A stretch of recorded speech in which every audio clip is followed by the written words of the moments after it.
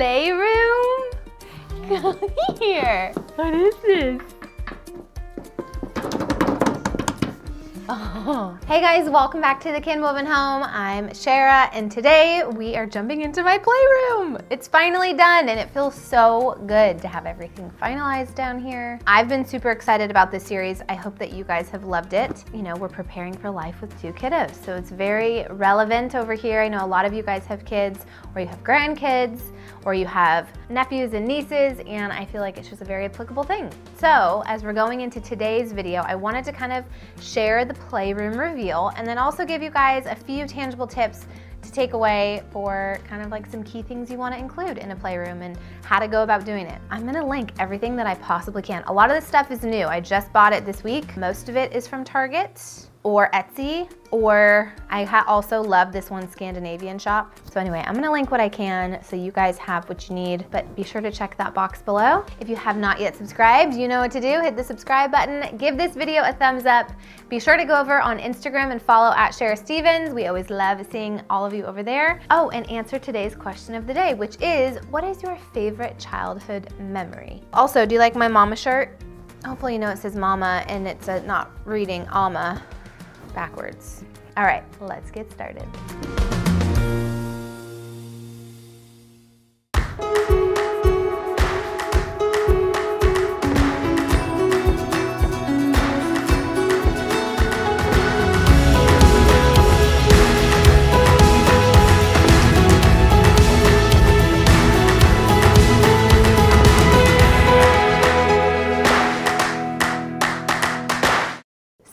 Welcome to the playroom. I'm gonna give you a little tour and then I'm gonna break it down and tell you everything I did to create a lovely playroom for Sawyer.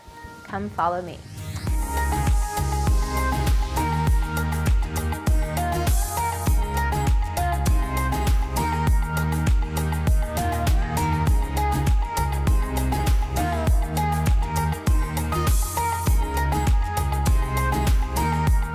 So when you first walk in, I love these little bookcases here. These are so adorable. They're such great quality and they're pretty affordable.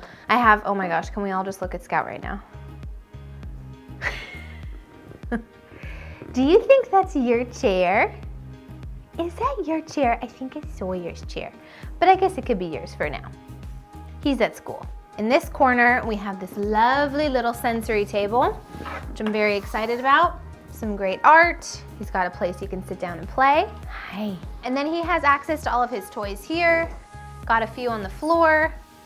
And we walk over on this side. We have some more really fun kind of educational prints. Some more toys and art supplies and books. And then you come over to this side and it's kind of like the little snuggle corner, all of his little stuffed animals. Scout. Excuse me. Quiet on set, please. He has his little tunnel that he loves running through. We have our nice little bike over here in case we decide we want to start getting fit.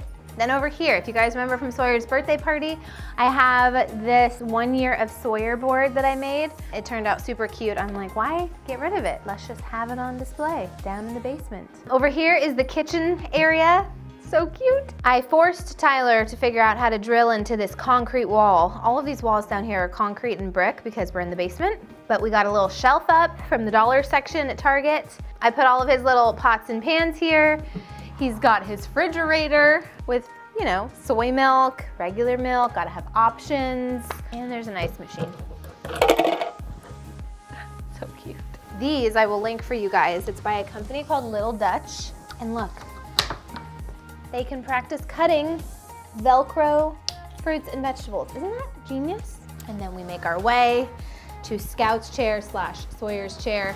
And this is a great little spot. We don't watch a ton of TV with Sawyer, but we can if we want. And I love that he has like a little chair to cozy up in. And look what has come back from the dead. I haven't had this thing up for years. You guys remember this? It's been in almost every apartment that you guys have ever seen me do on YouTube. And now it's in this house. Okay, let's have a seat. Let me break down what we did, give you guys some tangible tips to take away from this video, and hopefully it'll help you create your playroom as well. Okay, the first tip when it comes to setting up your playroom is to create easy to maintain storage. Storage is like the top thing when it comes to a playroom because it can be chaotic and if it's not easy to clean up, eh, you're not gonna stick with it and it's just gonna become a mess. I love these cube storage containers. I got these at Target. If you follow me on Instagram, you saw when we were putting together the other set, there was a white set we were building and that set was uh, the cheaper option. It was like Target's college line, I think it's called Room Essentials.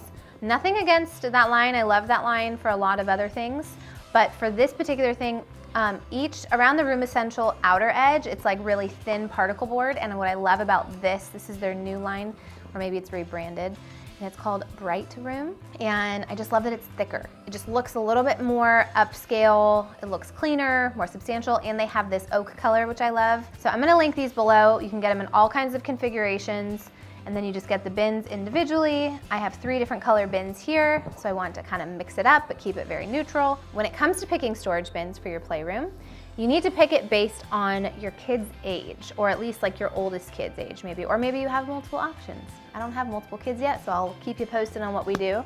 But if Sawyer was like six or seven, I probably would have gotten, you know you've seen those bins that have like smaller pull-out drawers and they're like translucent. Those are really great for all the small piece toys, like puzzles or Polly Pockets. Do people use Polly Pockets anymore? Did you used to have Polly Pocket? I used to love Polly Pocket. At this stage, Sawyer's toys are bigger. They're more like this sort of a thing. I need a big bin, a big bin for it. I kind of don't want to see what's inside at this point.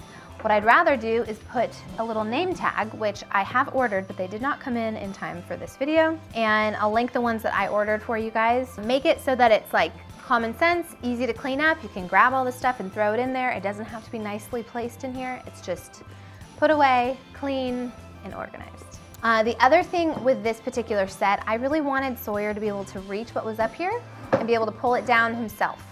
Um, I had originally, with the white ones, they were all the way up to the window and it added more storage, but it wasn't as functional and easy to use. So I just think that having it a little bit shorter and then longer just makes it look better and it's more practical and I have a surface to accessorize on, which is always fun.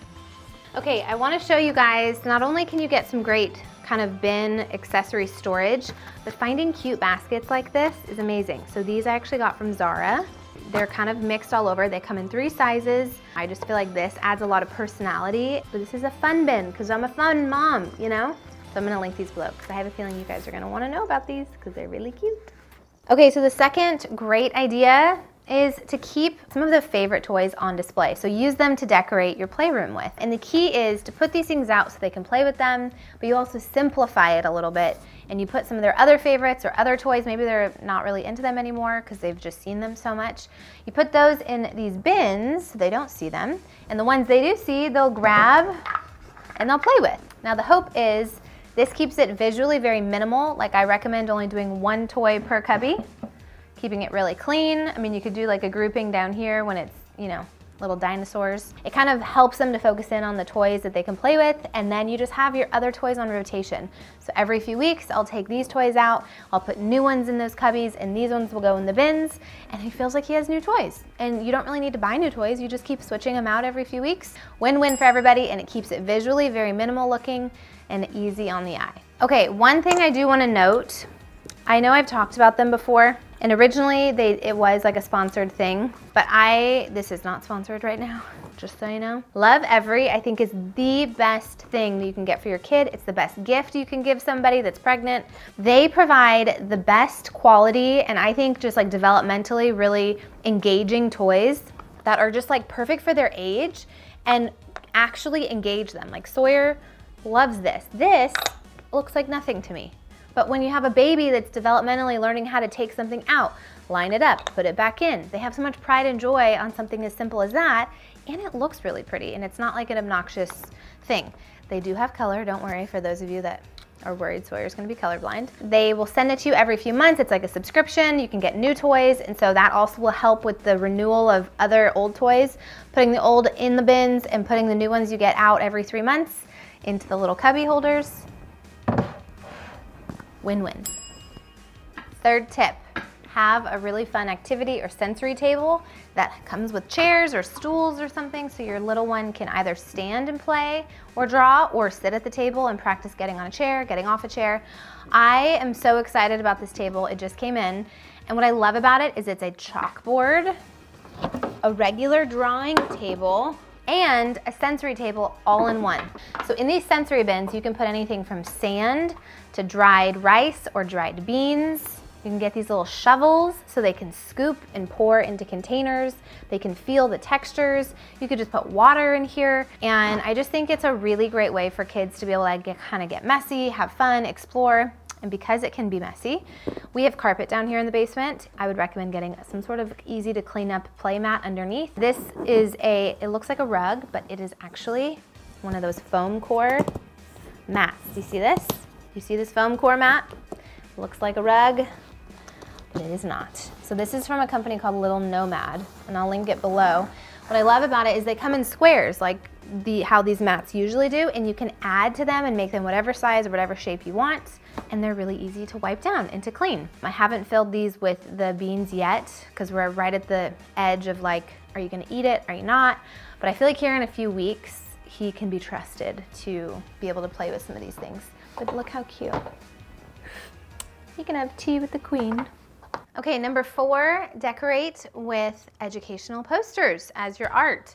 So I love these posters. I found them on Etsy. I will link the Etsy shop. And then I just took them to like an Office Depot or FedEx print or whatever and had them printed out in different sizes. I love like the calming techniques, listen to music, stretch, ask for a hug, so cute. And then months of the year, I love this little like repetitive mantra. I'm kind, I'm brave, I'm honest, I'm helpful. I just think it's so great. Obviously he can't read this stuff now, but as he grows and learns, he'll be able to read it. I can read it and repeat it to him. And then Oklahoma has some crazy weather. So I thought it was very, uh, you know, applicable we get all of these things, so we'll be sure to point them all out, I'm sure, within a month's time. It snows and then it's 80 degrees three days later. It is crazy here. One of you actually made this for Sawyer, which was so sweet of you. I don't remember who. You actually signed it on the back, so I need to look that up. But hopefully when the new baby is here, we'll get another one and we can put it right next to it on the other side. But for now, I just have like a random art print. But I love this. It's the time that he was born, how big he was, and his little name. Okay, and then on this side, I made sure to blow these up extra big. This was like 24 by 36 or something. But these are just posters that I had printed. And I just love, we have our colors, we have our feeling words, our alphabet, and our shapes. All things that are applicable to him right now. I just think if you can find these educational posters that are in your color palette, that are like aesthetically pleasing, it just brings life to your playroom and it also is something they can learn with, which I think is kind of a win-win and kind of cute. Okay, last but not least, decorate with some fake plants. I actually got these in the dollar or $3 section at Target. Fake plants are great. You're adding some greenery vibes in here. It's safer because they can't eat it and they can't get into the dirt and eat the soil. And very easy to maintain. They're not gonna die on you. You don't have to remember to water them. And they just add that like lively touch to the space and you can throw them around and they're not gonna make a mess. Win-win.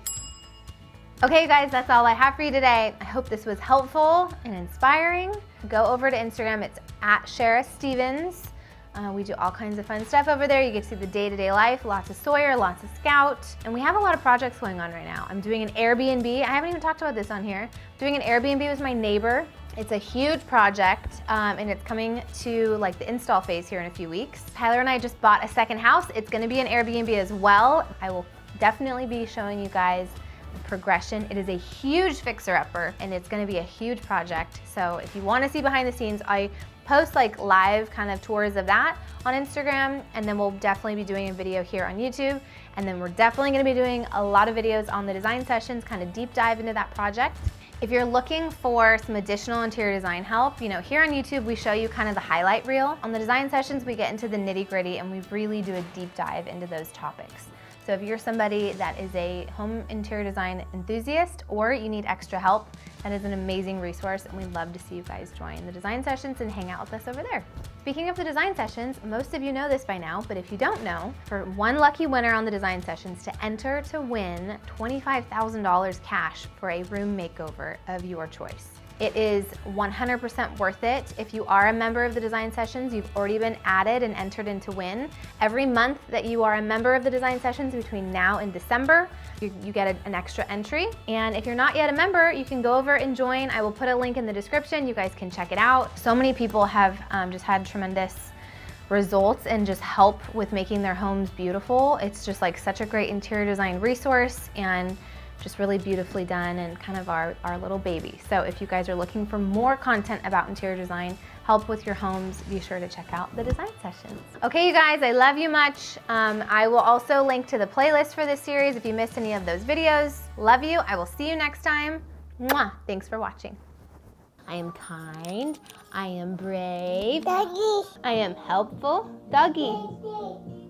Dog. Mm.